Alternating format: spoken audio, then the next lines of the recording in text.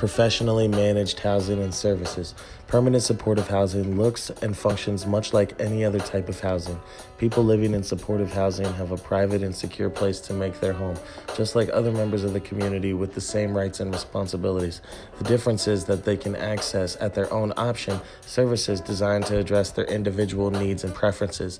These services may include the help of a case manager or counselor, help in building independent living and tenancy skills, assistance with integrating into the community, and connections to community based healthcare treatment and employment services.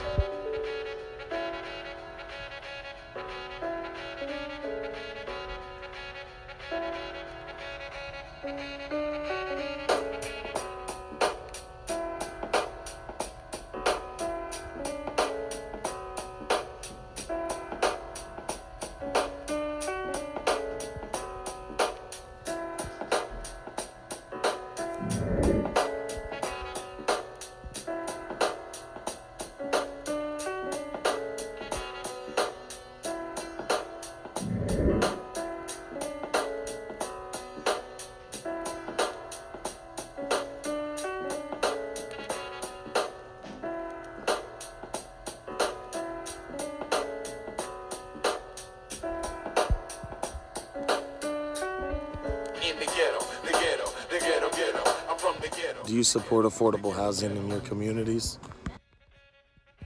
societies decided to Leave a Mr. message? Paul, but it is important, so please, you leave me the name and the number, and I'll...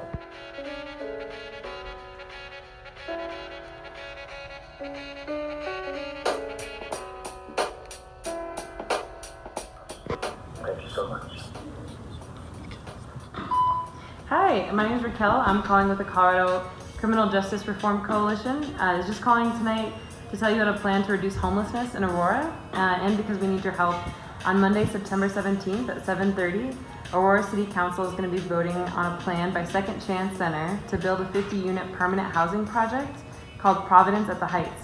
Path would be located at 15602 East Alameda Parkway on land sold to Second Chance Center by Elevation Christian Church. Uh, these apartments would be available at a very reduced price uh, and rent, and building would be managed 24/7.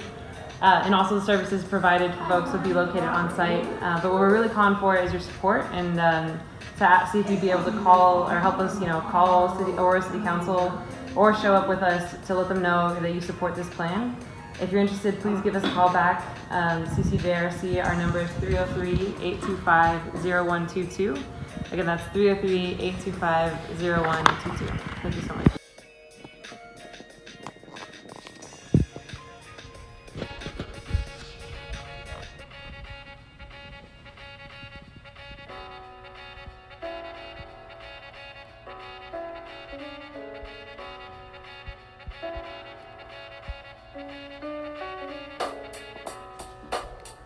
Will this be a group home?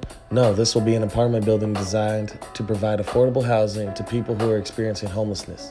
Each apartment is a separate residence available to rent by an individual, couple, or family. Is this a homeless shelter? No. These apartments will use a permanent supportive housing model that combines housing and services for people who need support to live stably and independently in their community.